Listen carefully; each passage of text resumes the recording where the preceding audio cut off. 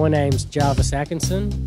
I'm a proud Yorta Yorta man from Shepparton, Cummeragunja. Treaty means to me having my voice heard, being recognised as a traditional owner of my country my land. Treaty means to me a better future for my children, a better future for my family, a better future for Australia. I think it's very important for community to get behind it because the more mob we've got on board, the more mob are going to be empowered to start having their voices heard and to determine where they want to steer our future. We have a right to tell our story. We can't be debunked by saying we're not allowed to tell our story.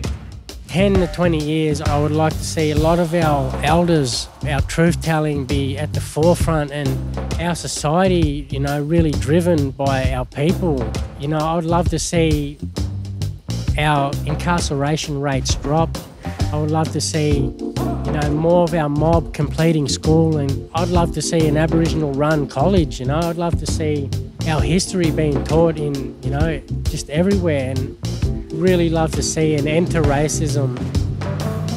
You know, our kids to be able to walk strong and proud. And it's important for me to cast my vote so I, I have a good understanding and, you know, I can determine who I want to represent me from my community. And look, do your research, check in with your elders, ask them what they think, and, um, you know, get on board and you know, it's all about taking a risk. You know, a treaty is going to go ahead with or without us. So if we're sitting on the fence, we're not going to be doing much for our people and for our culture. So.